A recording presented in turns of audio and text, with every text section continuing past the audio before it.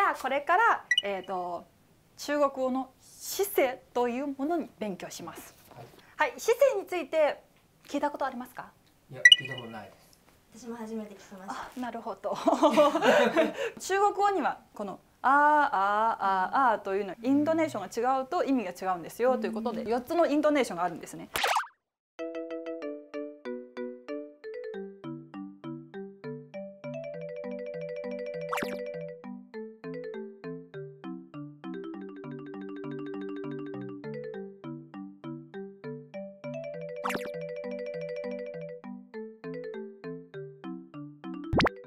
世の中の発音のことについてね、えー、と5段階に分けてることが多いです。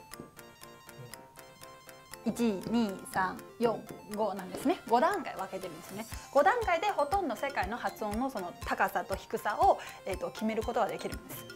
じゃあお聞きあのお伺いしますが日本の方の日常の声は？どれぐらいにあるんですかと。2ぐらいじゃないですか2ぐらい。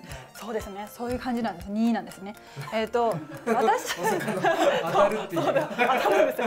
12ぐらいなんですね。でじゃあ中国語の日常の音量はどうかというとまず第一声、まあ、姿勢の中に1234があるんですね。第一声なんですけど第一声はここなんです。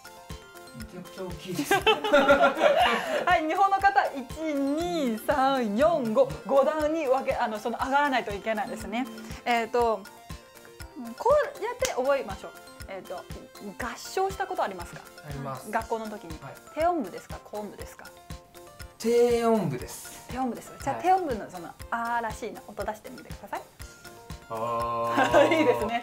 これちょっと高くなって2段になって。あー。はい。高く。あはい。ーあーあーまあ難しいですけどそんなあの音痴なのがバレるっていう意味が分かんなくなっちゃってでも確かにその最後のところのいきなり「あー」なんですね。で音楽練習するとちょっとなんかてっぺんからここのここからちょっとなんか音が抜けるような感じなんですね。で「あー」なんですね。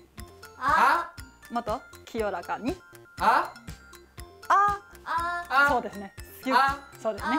で例えば「あい」なったらあいそうもっとあいいいですね。あい、そうです。こういう感じなんです。高いですよね。一声の発音のポイントはいきなりもう爆発するパッって感じなんですね。これは重要なんです。